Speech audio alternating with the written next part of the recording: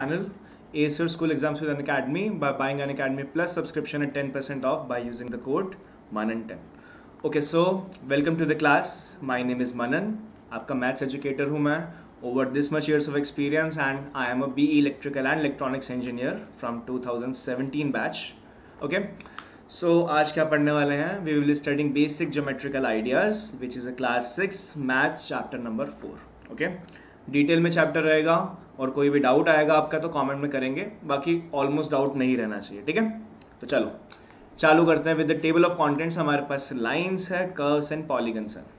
तीनों चीज़ों की डिटेल एक्सप्लेनेशन होगी एंड हम इसे रियल लाइफ एग्ज़ाम्पल के साथ भी देखेंगे, ठीक है? सो लाइन से चालू करते हैं।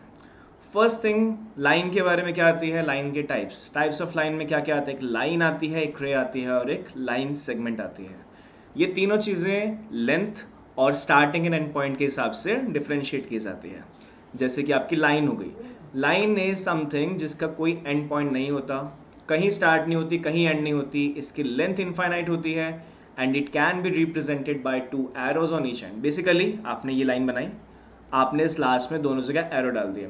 इसका मतलब इसकी लेंथ ये फिक्स नहीं होती है। अगर मान लो मैंने फाइव सेंटीमीटर से यहाँ बनाई है दैट डजेंट मीन कि ये फाइव सेंटीमीटर की है। यू कैन स्ट्रेच इट आप इसे लंबा कर सकते हैं दोनों तरफ़ से कर सकते हैं जितनी लेंथ चाहिए उतनी मिल जाएगी फ्रॉम ज़ीरो टू इन्फिनिटी जितनी लेंथ चाहिए उतनी क्रिएट हो जाएगी। सो so, समझने का पॉइंट क्या है? स्टार्ट कहीं नहीं हो रही। लेंथ जितनी चाहिए उतनी हो जाएगी। एंड ये लास्ट में दो एरो लगाना ज़रूरी है। क्योंकि अगर आपने एक भी एरो हटा दिया आपने एक ही एरो लगाया then it will be converted into a ray अच्छा हमारे पास लाइन का कोई एग्ज़ाम्पल नहीं है बिकॉज़ ये सिर्फ़ मैथ्स के अंदर बेसिक के अंदर आती है। बट रे का एग्ज़ाम्पल हमारे पास होता है। रे होती है जिसकी कोई एंड पॉइंट नहीं होता but it has a starting point ray यहाँ से चालू होगी एंड एंड कहीं नहीं होगी। जहाँ पे एरो लगाए वहाँ की लेंथ आप स्ट्रेच कर सकते हैं। सेम एरो लगाए तो लेंथ इनफाइनाइट हो जाएगी एंड ये एक एरो लगाना ज़रूरी है। इसका एग्ज़ाम्पल आपको दे सकता हूँ for example sun rays sun rays बोलने का एक रीज़न है। क्यों? आपने सन बनाया, ठीक है? आपको सन पता है, सबको दिखता है ऊपर। So this is my sun okay light आ रही है? लाइट वहाँ से आ रही है आपके पास एंड रास्ते में अर्थ आ गई। मान लो लाइट दो तीन डायरेक्शन से आ रही थी, इस डायरेक्शन में अर्थ आ गई। तो क्या ये अर्थ पे टकरा जाएगी? इट विल इंटरसेक्ट है ना? यहाँ पे टच होगी तो यहाँ रुक जाएगी। आप सामने खड़े हैं, आपके फेस पे रुक जाएगी। बट ये जो बची हुई रेज है, क्या ये आगे जाएगी? हम पढ़ते हैं ना कि मून रिफ्लेक्ट करता है सन की लाइट को। कैसे? मून तक टच हो गई, वो लाइट मून पे रुक गई। अर्थ पे जो आई, वो अर्थ पे रुक गई। जो अर्थ पे भी नहीं आई, वो आगे चली गई। ये एक एग्ज़ाम्पल है हमारे पास रे का। स्टार्टिंग पॉइंट क्या बोला जाएगा? The sun it and ending point क्या बोला जाएगा? जहाँ वो रुक जाएगी। बट क्योंकि एंड पॉइंट नहीं होता, हमने एरो से बनाया है, रस्ते का ऑब्स्टिकल हटा दो, वो इनफाइनाइट लेंथ पे चली जाएगी। ठीक है? अगर आपने वो एक एरो भी हटा दिया तो it will be converted into a line segment line segment के दो एंड पॉइंट्स होते हैं या दो स्टार्टिंग पॉइंट्स कुछ मर्ज़ी बोल लो। दो एंड पॉइंट्स बोलना सेंसिबल लगता है, ठीक है? क्योंकि लाइन एंड ही होगी हमेशा। फिक्स लेंथ होगी मतलब कि अगर आपने फाइव सेंटीमीटर जो कॉपी पे ड्रॉ किया है that will be a line दो डॉट्स लगाते हैं लास्ट में, दो डॉट्स का मतलब है कि यहाँ पे एंड हो गई। फॉर एग्ज़ाम्पल हमारे पास ये एक पेन हो गया।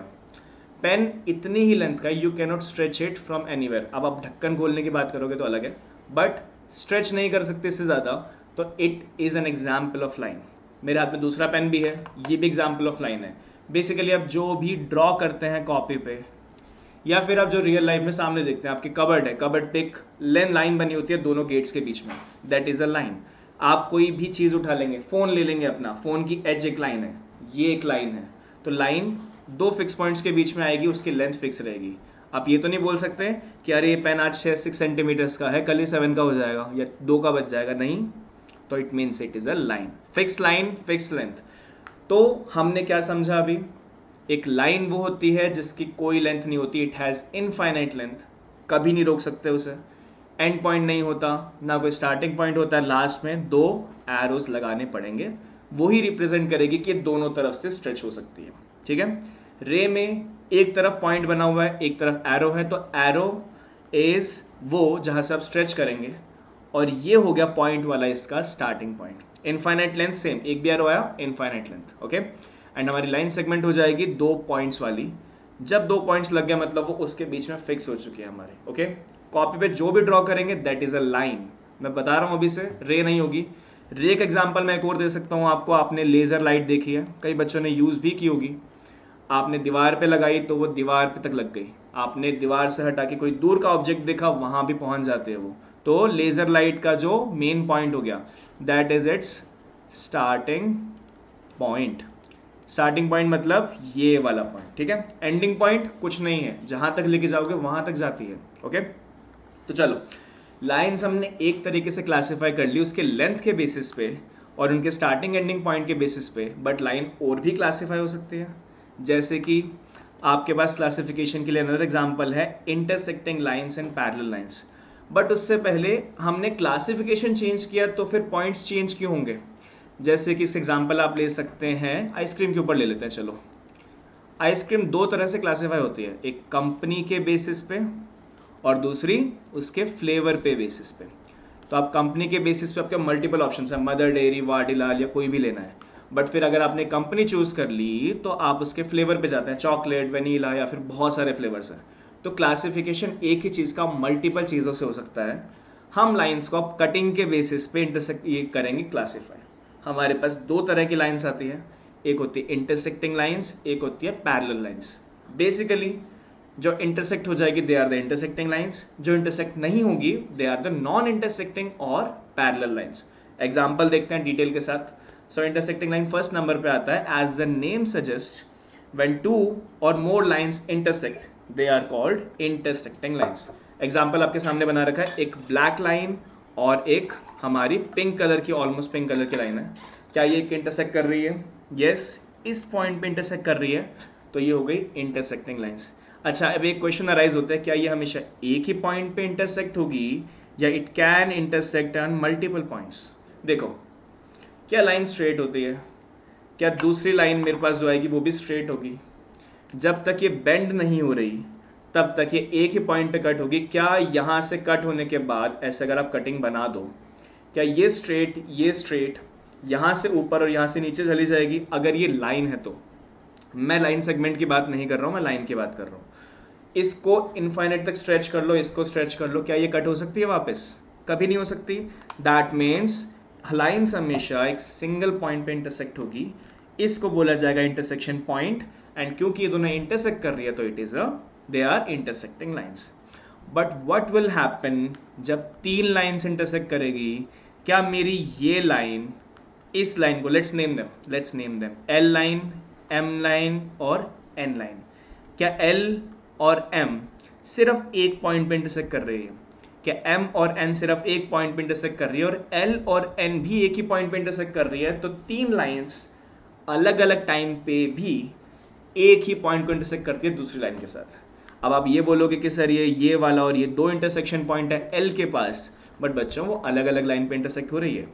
तो मल्टीपल इंटरसेक्शन पॉइंट्स हो सकते हैं बट किसी एक स्पेसिफिक दो लाइंस हमेशा एक ही पॉइंट पे कट करेगी। ये तीनों इंटरसेक्टिंग लाइंस बोला जाएगा ओके इनका कोई और नाम नहीं है। तो चलो, आगे बढ़ते हैं। अच्छा कुछ बच्चे होशियार भी होंगे यहाँ पे। बोलेंगे, ट्रांसवर्सल है ये। ट्रांसवर्सल आप next line next chapter next class में पढ़े सेवन क्लास में, अपने आप सिखा दिया जाएगा लाइन्स एंड एंगल्स के चैप्टर के अंदर, ठीक है? अभी अभी के लिए आपके पास इंटरसेक्टिंग लाइन्स एग्ज़ाम्स के लिए। नाउ पैरेलल लाइन्स आती है आपके सामने। पैरेलल लाइन्स मतलब नॉन इंटरसेक्टिंग लाइन्स अच्छा ये सारी पीपीटी आप स्क्रीनशॉट भी ले सकते हैं, या फिर आप कॉपी पे भी लिख सकते हैं एज नोट्स इजी रहेगा समझने में। कम नोट्स हैं समझने का पॉइंट ज़्यादा है, लिखा ब्रीफ में हुआ है तो जल्दी समझ आएगा। ठीक है? एग्ज़ाम टाइम में पढ़ते time so they are the non intersecting lines मतलब कि दे विल नेवर इंटरसेक्ट जैसे कि even after stretching them to infinity कभी इंटरसेक्ट नहीं होंगे? नहीं होंगे. They will be the parallel lines example सब अपने पास एक स्केल देखो ज्योमेट्री बॉक्स में. क्या स्केल हमारा दो पॉइंट्स होते हैं? Yes yes? इस तरफ़ इंचेस अगर बना हुआ है तो इस तरफ़ सेंटीमीटर में बना हुआ है। क्या ये ऊपर वाली लाइन और क्या ये नीचे वाली लाइन कभी इंटरसेक्ट करती देखी है? नहीं। They are the parallel lines जैसे कि और एग्जांपल दूँ तो आपको opposite sides of a square और अ रेक्टेंगल और डीप में एग्जांपल ले लो क्यूब ले आओ। सबने क्यूब देखा है? डाइस सबके घर में होता है गेम में राइट डाइस के ऊपर और नीचे की लाइंस होती है ना? That is a square square की फॉर्म में होता है डाइस हमारा। हर एक फेस स्क्वायर होता है। ऊपर नीचे की लाइंस कभी इंटरसेक्ट करती है क्या? ये एक डाइस पे अगर वन पॉइंट बना हुआ क्या? ये और ये इंटरसेक्ट कर सकती है? कभी नहीं। ये और ये इंटरसेक्ट करती है? कभी नहीं। तो ये एग्ज़ाम्पल हो गया आपका स्क्वायर का। रेक्टेंगल लेना है तो आपका इरेजर ले लो यार। अपसरा नॉन डस्ट इरेजर सब यूज़ करते हो, मुझे पता है। तो इरेजर ऐसा दिखता है क्या? ये ऊपर नीचे की लाइन इंटरसेक्ट करती है? कभी नहीं। ये तो थी सारी लाइन सेगमेंट्स सबकी लेंथ फिक्स थी राइट क्यूब के अंदर भी ऊपर नीचे के फिक्स थी रेक्टेंगल में भी ऊपर नीचे फिक्स थी बट वर्ड अबाउट लाइंस जिनको आप एक्चुअली स्ट्रेच कर सकते हो। देखो, ये लाइन को मैंने स्ट्रेच किया, ये लाइन को मैंने स्ट्रेच किया, ये स्ट्रेच किया, ये स्ट्रेच किया। मान लो इन दोनों के बीच में गैप था लेट से टू सेंटीमीटर्स मैंने बनाया है, आप भी बना सकते हैं कॉपी में। मान लो यहाँ पे भी टू सेंटीमीटर्स गैप था। क्या ये पैरेलल लाइंस अगर नॉन इंटरसेक्टिंग है तो क्या हमेशा दो सेंटीमीटर के गैप पे रहेगी? सर अगर कम हो गया, मान लो ये लाइन और ये लाइन जा रही है, यहाँ पे टू सेंटीमीटर से क्या ये गैप कम होता हुआ दिख रहा है? जब गैप कम होता हुआ दिख रहा है तो कभी ना कभी ये गैप ज़ीरो भी होगा। ज़ीरो होगा तो वो कट हो जाएगी they will be intersecting lines but जब आपका गैप कम नहीं हो रहा है तो they will be the parallel lines समझने का तरीका मैंने स्केल का जो एग्जांपल दिया आपको, ये वाला स्केल का एग्जांपल आप दो स्केल रखना अपने पास में, एक स्केल को रखना सामने, दूसरे स्केल को यहाँ पे वर्टिकली रख के मेजर करना दोनों के बीच में गैप कितना है। Starting mid point end point सब जगह मेजर करना हमेशा इक्वल आएगा, जो भी स्टैंडर्ड आएगा इक्वल आएगा। उससे आपको पता चल जाएगा, अगर गैप चेंज नहीं हो रहा है मतलब कि वो कट नहीं हो सकती they will be the parallel lines but what about lines like these देखो, ये फ़र्स्ट लाइन और सेकंड लाइन तो चलो पैरेलल मान ली मैंने। बट सर मुझे तो सेकंड और थर्ड लाइन इंटरसेक्ट होती नहीं दिख रही है मेरी स्क्रीन पे तो। क्या ये दोनों इंटरसेक्ट नहीं हो रही है? नहीं। क्या आप इसे पैरेलल बोल सकते हैं? नहीं। आप दिख रहा है यहाँ पे, यहाँ गैप ज़्यादा है, यहाँ गैप कम हुआ, और कम हुआ, और कम हुआ। तो मतलब मैं लाइंस को तो इंटरसेक्ट करा सकता हूँ but they will be stretch to infinity मेरे पीछे से निकल जाएगी ये। मेरे पीछे से साइड होता हूँ थोड़ा सा। क्या आपको यहाँ दिखा इंटरसेक्शन पॉइंट कभी तो इंटरसेक्ट हुई तो they will be intersecting lines they will never be parallel okay okay और आप एक चीज़ और देखोगे। यहाँ जब कटिंग हुई है ना इसकी, यहाँ से गैप बढ़ता ही जाएगा। छोटा gap zero gap one centimetre two centimetre three four five ये गैप बढ़ता ही जाएगा। तो क्या वो अभी भी एक ही पॉइंट पे कट हो रही है लाइंस यस इंटरसेक्टिंग में दो लाइंस एक पॉइंट पे कट होती है पैरेलल में they never cut okay basic हमारा इतना है लाइंस के बारे में. तो चलो, इतना क्लियर है तो आगे बढ़ते हैं कर्व्स के ऊपर. कर्व्स हमारे सामने बहुत बेसिक बहुत इजी कंसेप्ट है. आप रेगुलर डेज़ में कर्व्स यूज़ करते हैं. कैसे? डेफिनेशन पढ़ना इजी डेफिनेशन समझने की कोशिश करते हैं. A curve is a continuous and smooth flowing line without any sharp turns एक second continuous and smooth flowing line without any sharp turns अभी तो हमने पढ़ा कि लाइन स्ट्रेट होती है। तो फिर continuous and smooth flowing line का मतलब क्या है? मैंने पेन रखा कॉपी पे। मैंने ये ड्रॉ कर दिया टेढ़ा मेढ़ा कुछ भी। क्या ये एक स्ट्रेट लाइन है? No no. क्या ये कर्व है? Yes yes. क्या आपको कोई पॉइंटी चीज़ दिख रही है? पॉइंटी मतलब जहाँ पे उंगली लगाओगे तो चुभे वो। जैसे कि ये चीज़। अगर आपके सामने ऐसा कुछ रखा हुआ तो क्या ये आपको स्टिंग करेगा? फिंगर पे यस बट क्या आपको ये वाला जो कर्व है, क्या ये स्टिंग करेगा किसी पॉइंट पे, उंगली लगाने पे? नहीं तो इट इज़ अ कर्व ठीक है? One way to recognise a curve is that it bends it bends a little bit and changes it direction at least once क्या ऐसा पॉसिबल है कि मैं कर्व के नीचे ऐसे कर रहा हूँ, मैंने इसको कर्व किया? क्या मेरी डायरेक्शन नीचे की तरफ़ थी? अब मैं राइट साइड जा रहा हूँ। मैंने फिर इसको ऊपर उठा दिया विदाउट एनी शार्प टर्न्स क्या ये वापस ऊपर जा रहा है? तो क्या आपकी मूवमेंट चेंज हुई? डायरेक्शन चेंज हुई? यस yes, तो ये कर्व हो गया। ठीक है? कर्व का एग्जांपल हो गया हमारे सामने ये। कर्व क्या होता है? Basically a line can never become a curve straight line curve नहीं बन सकती वो स्ट्रेट है। But because it does not bend ये मुड़ती नहीं है। जैसे example circle circumference of a circle ठीक है? ये रहा मेरा सर्कल सरकमफरेंस पूरा स्मूथ है, कहीं भी शार्प टर्न नहीं है. या फिर outside of a bottle is a curve bottle के आउटसाइड पूरी कर्व होती है, देखो. पूरा क्लोज्ड है बट कहीं भी शार्प टर्न नहीं है. That means it is a curve example curve के, ये लो. ये लो. कुछ भी बना दो. कुछ भी जो कट नहीं हो सकता है, वो बना दो. स्पाइरल बना दो. जो भी आपको पॉइंटी लाइन पॉइंटी साइड नहीं देगा दैट इज़ अ कर्व कुछ मर्ज़ी मतलब कुछ मर्ज़ी, ऐसे बना दो। अच्छा अब क्या ये कर्व बचा? ये देखो क्या है। Pointy this is not a curve okay समझे? बेसिक मतलब समझ आया कर्व का? कोई भी चीज़ जो शार्प टर्न नहीं देगी, वो है कर्व कुछ भी बना दो, कुछ भी, ठीक है? चलो, अगर ये पार्ट क्लियर है कर्व क्लियर है तो हमारे पास सिर्फ़ एक पॉइंट बचता है which is a polygon polygon बहुत टाइप के होते हैं बहुत मेजर है। अभी से चालू करोगे पढ़ना seventh eighth nine tenth eleven twelfth eleven twelfth के बाद भी कर्व आता रहेगा। पॉलीगन भी आता रहेगा। बट अगर हमने अभी सीख लिया तो आगे दिक्कत नहीं आएगी। तो चलो पॉलीगन की डेफिनेशन चालू करते हैं। Polygon words comes from poly plus gon देखो सारे ग्रीक होते हैं या कोई वर्ड्स होते हैं हमें उससे मतलब नहीं है। हमें पॉलीगन का मतलब समझने से मतलब है। सो so, पॉली का मतलब होता है मैनी एंड गॉन का मतलब होता है साइड्स तो पॉलीगन का मतलब क्या बना? मैनी साइड्स मतलब कि मैनी साइड्स ठीक है, समझ आ गया? पॉलीगन का नाम समझ आ गया बट इसका डेफिनेशन क्या है? So polygon is a flat shape made up of straight line segments दो चीज़ें इंपॉर्टेंट लिखी है. स्ट्रेट लाइंस स्ट्रेट लाइंस मतलब कि ये एंड सेगमेंट्स मतलब कि उनकी लेंथ फिक्स हो जाएगी. दो चीज़ें समझनी ज़रूरी है. फ्लैट शेप स्ट्रेट लाइन से बनी है और जो कि लाइन सेगमेंट्स है they are not lines they are line segments ठीक है? चलो धीरे धीरे समझते हैं एक एक पॉइंट लेके। लाइन सेगमेंट यूज़ होगी ओके okay, मुझे क्लियर हो गया।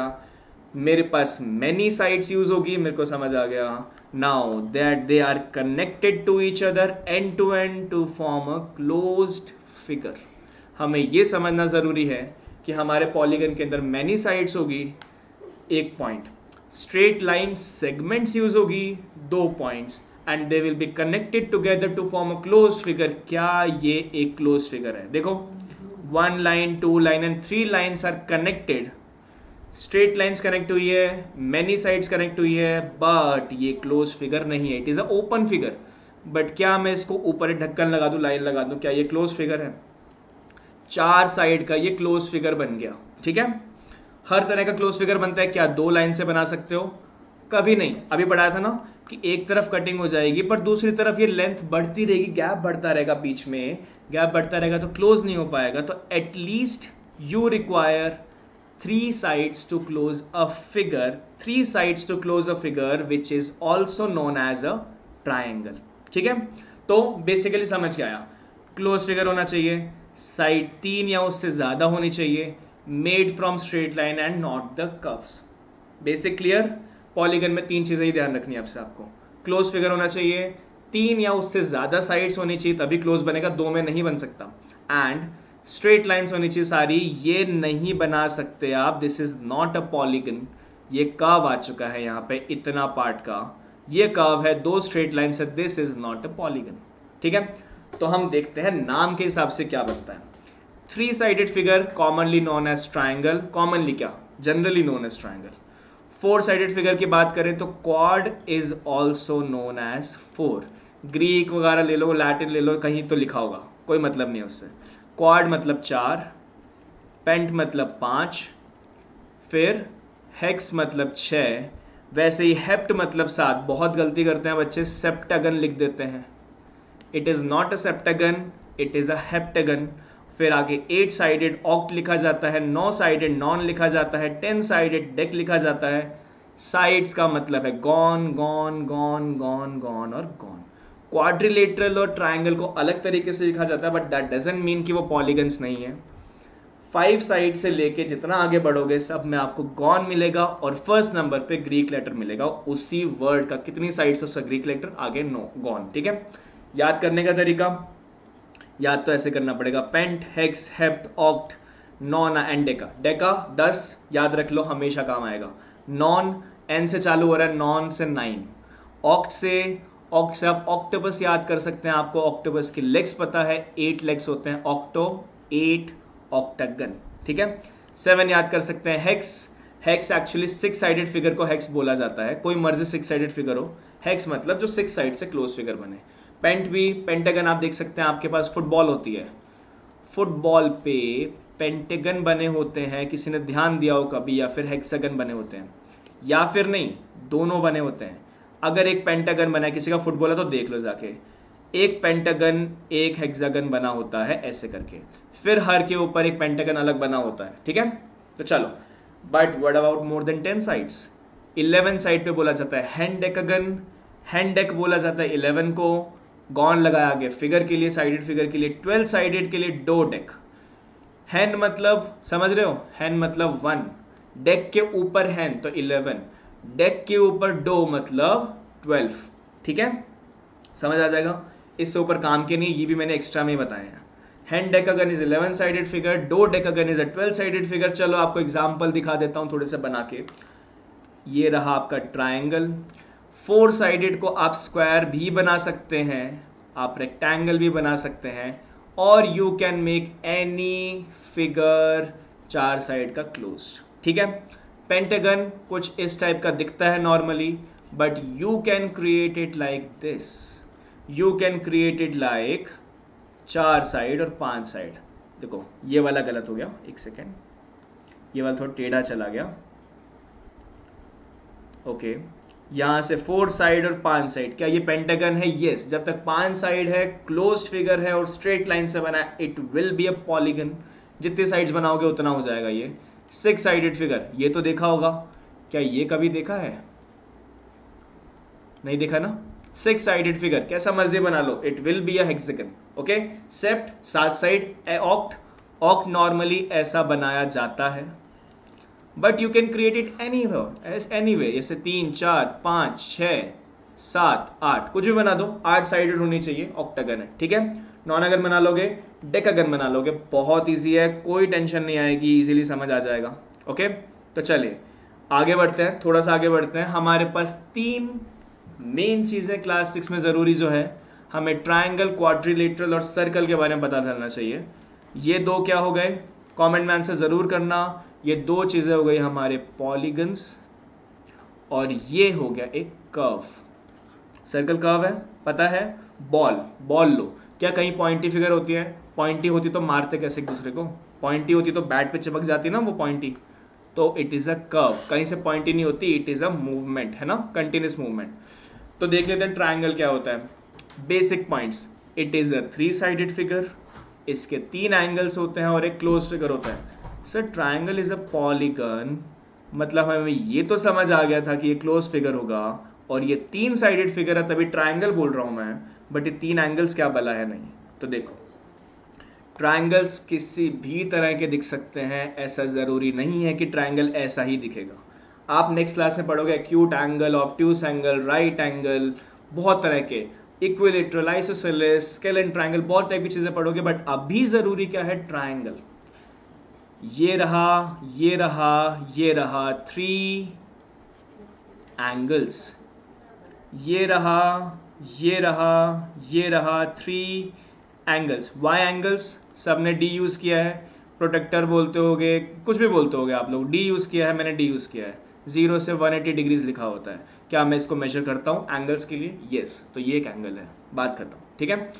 लंबा भी हो सकता है, छोटा भी हो सकता है नॉर्मल साइज़ का भी हो सकता है। ट्राइंगल में तीन साइड होनी चाहिए, तीन एंगल्स होने चाहिए और वो क्लोज फिगर होना चाहिए दैट्स इट बट उसके जस्ट बाद में हमारे पास नेक्स्ट थिंग आती है which is a example example में चलो मैं बता ही देता हूँ आपके पास कि जब मेरे ट्राइंगल की तीन साइड्स इक्वल हो जाए, वो बोला जाता है इक्वी लिटरल ट्राइंगल मैं ट्राइंगल लिख नहीं रहा ट्राइंगल बना दिया बट इक्वी का मतलब समझ आ गया। तीनों के तीनों साइड्स इक्वल आपके पास जब भी दो साइड्स इक्वल आएगी, कोई भी दो साइड इक्वल हो सकती है, तीसरी अलग है। जैसे फोर सेंटीमीटर फोर सेंटीमीटर और three centimetre after all there line segments ना? तो they they have a length तो फोर फोर और थ्री इसको बोला जाता है आइसो सलेस ट्राइंगल मैं फिर से बोल रहा हूँ कॉपी में ये ट्राइंगल का डायग्राम मत बनाना ट्राइंगल लिख लेना पूरा।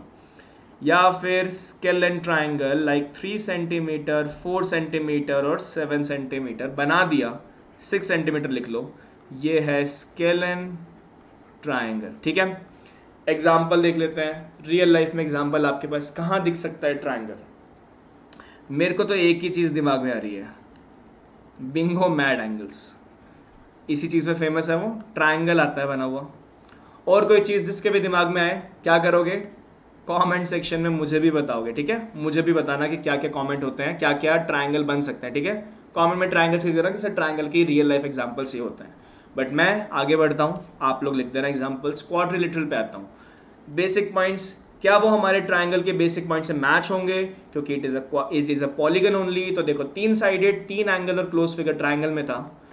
पॉलीगन में quadrilateral is a four sided figure it has four angles and it is a close figure बिल्कुल सेम बस क्वाड का मतलब समझ लो चार होता है। ठीक है? क्वाड का मतलब समझ लो चार होता है। क्या मतलब है? ये देखो। आपने ये देखा होगा। इट इज़ अ रेक्टेंगल चार साइड चार एंगल ऑल दो होती सारे 90 डिग्री है बट वो ज़रूरी नहीं है। क्या चार एंगल ज़रूरी है? क्या हमारे सामने एक स्क्वायर भी हता नहीं लग रहा हो तो मान लेना स्क्वायर इसको। ठीक है? कमेंट में कोई ये नहीं आना चाहिए स्क्वायर नहीं दिख रहा। चार साइडेड फिगर जिसके सारे एंगल 90 डिग्री होते हैं, सारी साइड्स इक्वल होती है दैट इज़ अ स्क्वायर क्या ये भी एक रेक्टेंगल है? क्या ये बड़ी क्लास में आप पढ़ेंगे कि हमारे पास कुछ पैरलेलोग्राम नाम से भी चीज़ आती है गंदी सी? समझा देंगे? सेवन क्लास में आओगे तो ठीक है? फिर हमारे पास कोई रोम्बस भी आता है, हमारे पास ट्रेपीजियम भी आते हैं। ट्रेपीजियम एट क्लास में आएँगे आपके। रोम्बस पैडलोग्राम सारे सेवंथ में आएँगे, बाकी चीज़ें आपके सामने है ही। समझ जाओगे ईजी है रेक्टेंगल स्क्वायर में डिफरेंस पता है, चार साइड होनी चाहिए क्लोज फिगर होना चाहिए लाइन सेगमेंट होनी चाहिए क्लोज लूप है तो ये फाइव सेंटीमीटर ड्रॉ कर सकता हूँ मैं, ज़रूरी ये है। एग्ज़ाम्पल ट्राई रेक्टेंगल के तो बहुत सारे एग्ज़ाम्पल रियल लाइफ में, अपने घर का गेट देख लो। नॉर्मली गेट रेक्टेंगल शेप में होता है विंडो देख लो कोई भी। फ़ोन की स्क्रीन देख लो फ़ोन की स्क्रीन होती है हमारी। ठीक है? रेक्टेंगल शेप के अंदर। स्क्वायर के शेप में देखोगे तो क्यूब को मुँह पे रखना सामने आपको स्क्वायर दिख जाएगा। रूबिक्स क्यूब देख लो, है ना? और क्या चीज़ देख सकते हो आप लोग? आपके रूम में चलो गेट अगर आपका नहीं है उस शेप का तो आपके रूम की अलमीरा देख लो। अलमीरा अलमीरा होती है उसी शेप की राइट तो चलो, ये हो गया एग्ज़ाम्पल मैं यहाँ लिख देता हूँ। क्यूब फेस रूबिक्स क्यूब का फेस रूबिक्स क्यूब मिल जाएगा सबके पास ऑलमोस्ट या फिर डोर या फिर विंडो है ना? विंडो की आउटलाइन देख लेना। अगर विंडो एग्जैक्टली exactly नहीं है तो आउटलाइन देख लेना उसकी। फ़ोन स्क्रीन या फिर हमारे सामने लैपटॉप स्क्रीन सबसे मेन चीज़ राइट ये सब चीज़ें होती है। कोई भी कूपन पड़ा है आपके पास। कूपन होता है शेप का। कोई भी किसी भी तरह कूपन पड़ा है, ठीक है? तो चलो सर्कल पे आ जाते हैं। सर्कल का एक ही पॉइंट है। It is a curve it has a fix radius जिसके पास भी कंपास पड़ा है घर पे, या फिर मम्मी की चूड़ियाँ ले लो ग्लास का टॉप पोर्शन ले लो everything is a circle right कभी आपने ऐसे देखा है? ग्लास बना हुआ इस शेप का, ऐसे करके ग्लास बना हुआ। हम ड्रॉ ऐसा करते हैं बट क्या ग्लास कभी भी नीचे से ऐसा देखा है बना हुआ? टेढ़ा सा मुँह बना दिया, तीखा सा। नहीं देखा ना? क्योंकि वो नहीं होता सर्कल शेप सर्कल शेप अच्छी दिखती है राइट फिक्स रेडियस जैसे कि आप ये सर्कल लेंगे सेंटर पॉइंट मार्क करेंगे. That will be the centre of the circle circle का बेसिक ये होता है? यहाँ से इसकी जो आउटसाइड लाइन है, अगर मान लो ये थ्री सेंटीमीटर ड्रॉ हुई है, क्या आपको अच्छे से पता है? कंपास में ये भी थ्री सेंटीमीटर ही बनती है. क्या कहीं भी ले जाओ थ्री सेंटीमीटर ही ड्रॉ की that is the basic of the circle compass का पेन पॉइंट यहाँ रखते हैं कंपास का जुड़ा हुआ पेन या फिर पेंसिल यहाँ रखते हैं और गोला घुमा देते हैं. ये अगर फाइव सेंटीमीटर गिवन है तो ये भी फाइव सेंटीमीटर होगी एंड ये भी फाइव सेंटीमीटर ही होगी। ओके क्या इतना क्लियर है? तो चलो, एक बार फास्ट रिवीजन कर लेते हैं, यहाँ तक क्लियर है तो बट उससे पहले एग्जांपल आपको मैंने बता दिए। बॉटल का टॉप बॉटल का बॉटम या फिर ग्लास आपका वाटर ग्लास कोई भी राइट बॉल हो गई। बॉल को सामने से देखना टॉर्च मार के बॉल पे। आपको सामने सर्कल दिखेगा एक। तो चलो, एक बार कम, बिल्कुल जल्दी से फास्ट फास्ट एक रिवीजन लगा लेते हैं, ठीक है? रिवीजन लगा लेते हैं यहाँ पे। हमारे सामने रिवीजन चालू करते हैं इधर से। Just give me a second तो चलो रिवीजन में बताया तो मैंने क्या क्या पढ़ा है आपको? भी we have cleared lines curves and polygons lines हमारी क्या क्या होती है? हमने पढ़ा लाइंस एक क्लासिफिकेशन में तीन टाइप्स की होती है, जहाँ पे उनको हम लाइन रे और लाइन सेगमेंट से कवर करते हैं। लाइन क्या होगी? कोई एंड पॉइंट्स नहीं होगा, दोनों तरफ़ एरो बने होंगे and it will have infinite length इसकी कोई इसकी लेंथ होगी इनफाइनाइट इनफाइनाइट का ये मतलब नहीं है कि इनफाइनाइट ही होगी। आपको चाहिए फाइव सेंटीमीटर फाइव की हो जाएगी सेवन की चाहिए सेवन की हो जाएगी। बेसिकली जितनी लंबी लाइन चाहिए उतनी हो जाएगी। बट इसको इन्फिनिट लेंथ बोला जाता है क्योंकि it can stretch to infinity ray ray आती है सेकेंड पॉइंट एक एरो हटाया, सिर्फ़ एक एरो लगाया, एक स्टार्टिंग पॉइंट के साथ तो it has a starting point it has no end point infinite length ray का एग्जांपल सन रे या फिर लेजर लाइट थर्ड थिंग हमारे पास थर्ड थिंग हमारे पास लाइन सेगमेंट आती है. लाइन सेगमेंट जिसके दो एंड पॉइंट्स होंगे, या फिर दो स्टार्टिंग पॉइंट्स बोल लो, कुछ मर्ज़ी बोल लो, दो एंड पॉइंट्स बोलना अच्छा रहेगा क्योंकि एंड हो रही है बेसिकली वहाँ पे. फिक्स लेंथ होगी, जो आप ड्रॉ करेंगे that will be a line दो डॉट्स के बीच में रहेगी। फिक्स लेंथ होगी। फाइव सेंटीमीटर ड्रॉ कर दिया तो अपने आप से नहीं बढ़ेगी, ना छोटी होगी। एग्ज़ाम्पल पेन आपके सामने है। स्केल के ऊपर की लाइन 15 सेंटीमीटर होती है 15 ही रहती है वो। ठीक है? बड़ा स्केल ले लो 30 वाला 30 ले लो। लाइंस लाइंस और तरीके से जब हमने क्लासिफाई करी, उसके इंटरसेक्शन के ऊपर तो हमें इंटरसेक्टिंग लाइंस मिली या फिर पैरेलल और नॉन इंटरसेक्टिंग लाइंस मिली। ठीक है? इंटरसेक्टिंग लाइंस जो कट हो जाए वो इंटरसेक्टिंग बस और कुछ समझने की ज़रूरत नहीं है। जहाँ कटिंग होगी that is the intersection point और दो लाइंस हमेशा एक ही पॉइंट पे कट हो सकती है। तीन डिफरेंट लाइंस हमने नाम भी दे के समझा था। ठीक है? बट दो लाइंस हमेशा एक सिंगल पॉइंट पे ही कट होगी। और अब समझ आ रहा होगा, बीच में ट्राइंगल बन गया। डॉट्स के बीच में ट्राइंगल मतलब फिक्स लेंथ का ट्राइंगल बन चुका है हमारे पास राइट पैरेलल लाइंस जो कट नहीं होगी, वो इन्फिनिटी तक स्ट्रेच कर लो, तब भी कट नहीं हो रही तो they will be the parallel lines या दूसरा तरीका समझने का, बीच का गैप निकाल लो. बीच का गैप अगर throughout the line same आ रहा है, बीच का gap throughout the line same आ रहा है मतलब वो कट हो ही नहीं रही ना लेंथ छोटी हो रही ना बड़ी हो रही दे विल नेवर कट जब गैप छोटा हो रहा होगा, जब गैप कम हो रहा होगा, यहाँ से यहाँ कम है, यहाँ कम है, और कम हुआ, और कम हुआ, और कम हुआ ज़ीरो पहुँच गया. गैप ज़ीरो मतलब कट हो गई गैप बढ़ रहा है मतलब कट यहाँ नहीं होगी। एक तरफ़ कट हो गई, एक ही तरफ़ कट होगी ओके कर्व्स पे आ जाते हैं। कर्व हमने जल्दी से पढ़ लिया कि जो स्मूथ कर्व फ्लोइंग लाइन होती है हमारी, अब इसको ध्यान देना स्टिल लाइन बोला जा रहा है but it is not a straight line straight line अलग है स्मूथ लाइन अलग है। ये एक स्मूथ लाइन है दिस इज़ अ कर्व एक ही तरीका इसको इमेजिन करने का या फिर करने का, उंगली घुमाओ उसके ऊपर। वो कहीं शार्प पॉइंट नहीं देना चाहिए। बेंड हो जाए, कोई फ़र्क नहीं पड़ता it will be a curve ठीक है? शार्प पॉइंट नहीं आना चाहिए. ठीक है? इसके अलावा basic of the line basically एक straight line can never be a curve क्योंकि वो मुड़ी हुई नहीं है, इसके पास शार्प पॉइंट्स भी हैं. Okay circumference of a circle is a curve, outside of a bottle is a curve. Okay? कुछ मर्ज़ी बना दो that will be a curve चलो, कुछ मर्ज़ी टेढ़ा मेढ़ा बना दो मतलब it will be a curve कहीं शार्प पॉइंट्स नहीं आना चाहिए. जैसे कि इसी में एक ऐड कर देता हूँ, ये एक स्ट्रेट लाइन नहीं है, ये बेंडेड लाइन है बट इट हैज़ ये कर्व भी नहीं है क्योंकि इसके पास तीखे पॉइंट्स है it is a it is a pointy pointy figure है ये बेसिकली ठीक है? बाकी स्पायरल ले लो, कुछ भी ले लो, कोई और नहीं होता। Best example spring best example spring छोटा बड़ा कर सकते हो बट ये कर्व में होता है पूरा, ठीक है? पॉलीगन पढ़ लिया। पॉली मतलब मैनी गॉन मतलब साइड्स पॉलीगन मतलब मैनी साइड्स ठीक है पॉलीगन हमने देख लिया कि बहुत सारी शेप के हो सकते हैं। बेसिकली नंबर ऑफ़ लाइंस पे डिपेंड करता है। वो लाइन सेगमेंट से बना होना चाहिए, वो क्लोज फिगर होना चाहिए और तीन से ज़्यादा साइड होनी चाहिए, क्योंकि दो साइड का पॉलीगन नहीं बन सकता क्लोज फिगर तो तीन साइड वाला हमारे पास ट्राइंगल है, फिर चार का quadrilateral pentagon hexagon heptagon octagon nonagon and decagon ये सब मिल गए हमें।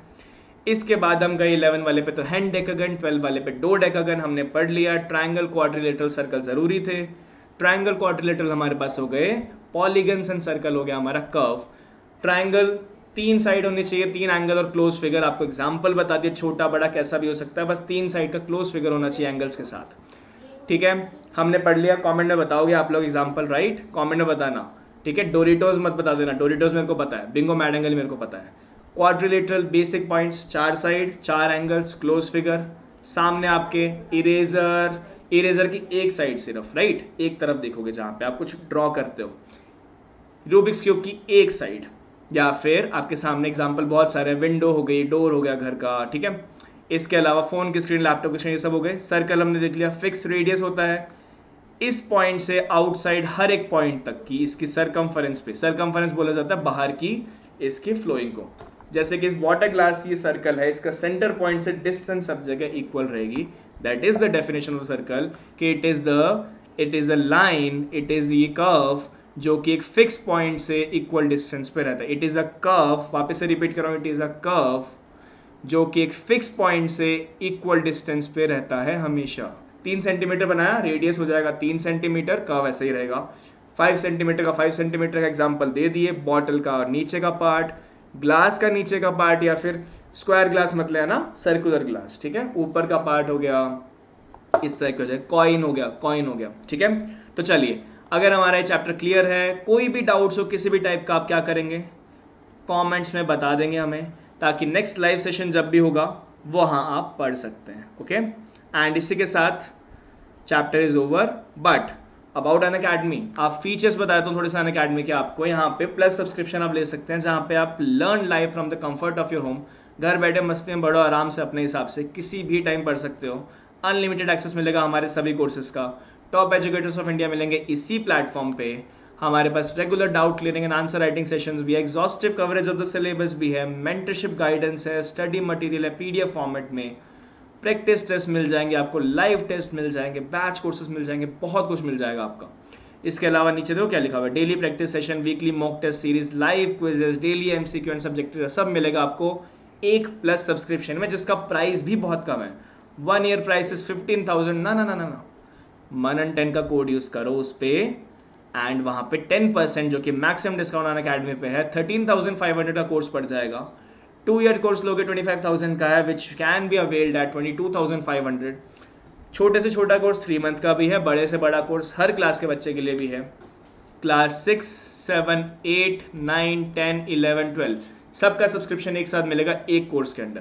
एंड आइकॉनिक ले सकते हैं जहाँ पे आपका पर्सनल मेंटोर मिलेगा लाइव डाउट सॉल्विंग क्लासेस मिलेगी वीकली रिपोर्ट्स मिलेगी पेरेंट्स कनेक्ट मिलेगा आपको अलग से स्टडी प्लानर मिलेगा आपको and all the benefits of academy subscription मतलब प्लस वाले सारे बेनिफिट्स मिलेंगे। ऑब्वियस ही बात है बढ़िया फीचर दिए जा रहे हैं।